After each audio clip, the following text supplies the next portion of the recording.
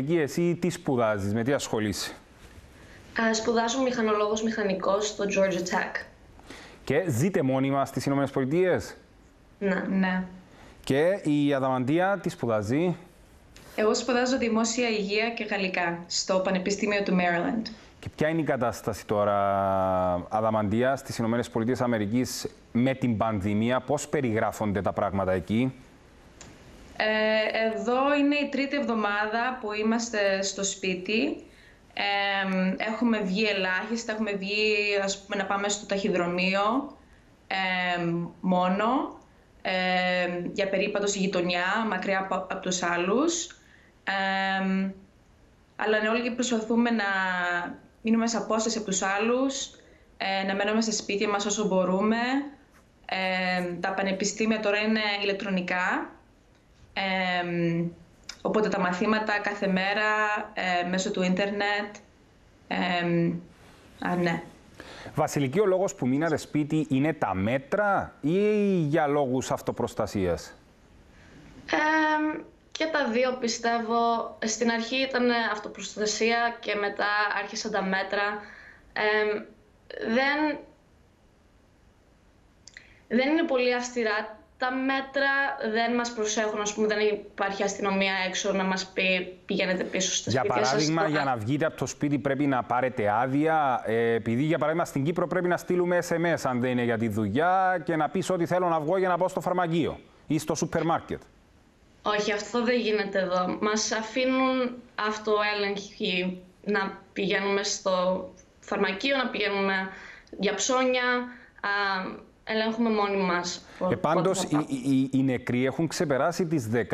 Δηλαδή, φαίνεται ναι. πλέον, μιλάμε για τις Ηνωμένες Πολιτείες και ξέρετε, ο κόσμος έχει δημιουργήσει μια εντύπωση ότι α, εκεί είναι όλα καλά, όλα λειτουργούν όπως πρέπει. Ε, εκφράζονται πλέον προβληματισμοί αδαμαντία για το σύστημα υγείας στις Ηνωμένες Πολιτείες Αμερικής και για τον τρόπο αντιμετώπισης αυτής της πανδημίας. Ναι, σίγουρα.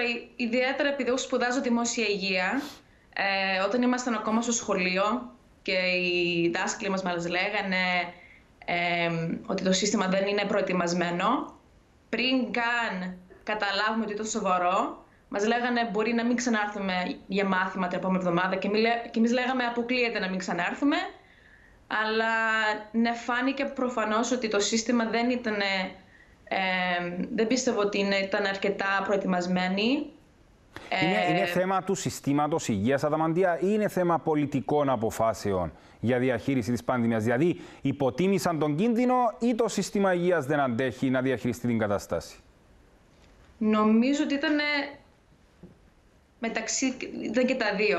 Α, ένας συνδυασμός. Ναι, ένας συνδυασμός. Ε, ας πούμε, οι δημόσιες υγείες, τα, τα συστήματα, περασμένα λίγα χρόνια, δεν τους ε, έχουν λιγοστέψει το, τα λεφτά από την κυβέρνηση που τους τα δίνουν. Μιας και αναφέρθηκες και σε αυτό, θα πάω στη Βασιλική με αυτό το θέμα. Έχει παρισφρήσει στην προεκλογική περίοδο το ζήτημα της πανδημίας και της διαχείρισής της; Το βλέπετε να είναι ένα debate ανάμεσα στους πολιτικούς πλέον στις Ηνωμένες Πολιτείες Αμερικής; Δεν νομίζω ακόμη. Νομίζω ναι. ακόμα προσπαθούμε να δούμε πώς θα, τι θα γίνει. Προσπαθούν πολύ να μην το κάνουν πολιτικό θέμα, γιατί μετά υποτιμεί πόσο σοβαρό είναι το πρόβλημα. Α, θέλουν να το κρατήσουν μακριά από αντιπαραθέσεις για να δουν πώς να το διαχειριστούν. Ναι.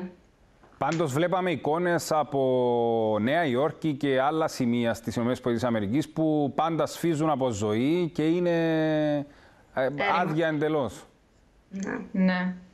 Πώς το ε, βιώνετε εσείς, Βασιλική, τι γίνεται αυτή την περίοδο, ποια είναι η επαφή με τους φίλους, με τα πανεπιστήμια.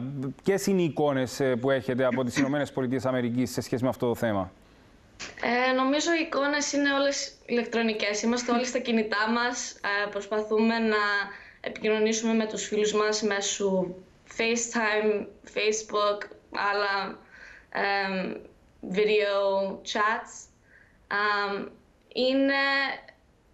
Ναι, οι πόλεις είναι ερημές ε, μπορείς να δεις εντάξει κόσμο να περπατάει έξω. Αυτό είναι κάτι που ε, ακόμα μας αφήνουν να πηγαίνουμε έξω για περίπατα.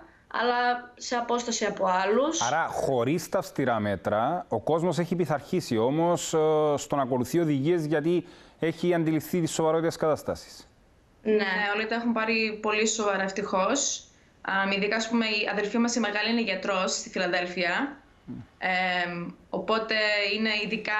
Είναι σε νοσοκομείο, Αδαμαντία, και αν ναι, ποια είναι η κατάσταση στα νοσοκομεία, τι γίνεται εκεί; Εμ, εδώ και αρκετό καιρό τους λείψανε μάσκες. Εμ, αρχικά το νοσοκομείο τους έδινε μία μάσκα την ημέρα σε κάθε γιατρό και μετά τους λείψανε.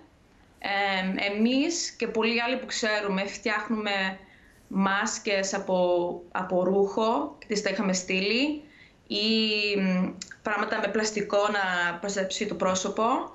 Εμ, και όσοι έχουν ε, μάσκες στο σπίτι τους, πολλοί τα, τα δίνουν στα νοσοκομεία ή σε γιατρούς που ξέρουν ε, για να τους βοηθήσουν. Μάλιστα. Λοιπόν, κλείνοντας, τι θα θέλατε να μας πείτε; Αρχίζω από τη Βασιλική. Ε, απλώς ότι να είμαστε όλοι ψύχρεμοι και ότι θα περάσει, ελπίζουμε, ε, σύντομα και αν μείνουμε όλοι στο σπίτι θα περάσει πιο γρήγορα. Αδαμαντία.